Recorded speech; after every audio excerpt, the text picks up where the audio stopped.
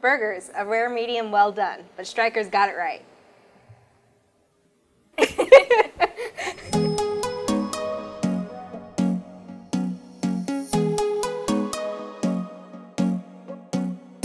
Welcome back to another episode of LTO My Goodness. I'm Lizzie, and this is our new co-host Madison and our new AE. Hi.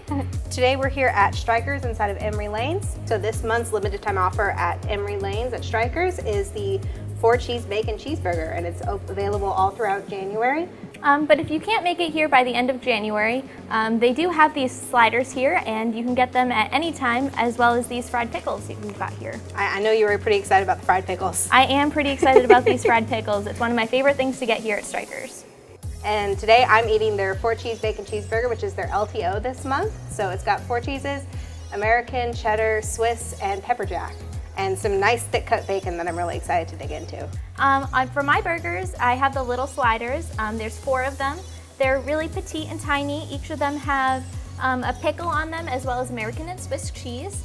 And then I have these delicious fried pickles over here, which are very, very delicious. I am very hungry, so I'm ready to, to take a bite. I'm too. Thanks.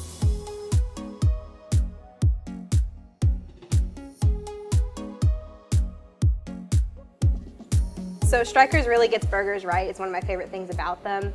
Uh, this one is no exception. It's got nice thick bacon, good crisp veggies, and a whole bunch of cheese, which you can't beat. For these little burgers, you know, they might be tiny and there, you know, there is four of them, but when you think about it, it it really is one giant burger put on these four little buns. Sliders will sneak up on you. You get like two in and you're like, wow, I'm yeah, full. you get really full, and then you have your fried pickles too, of course. So. So two thumbs up for me. How about you? Uh, I think it's a two thumbs up for me too. And in the meantime, stay, stay hungry, hungry, my friends. friends.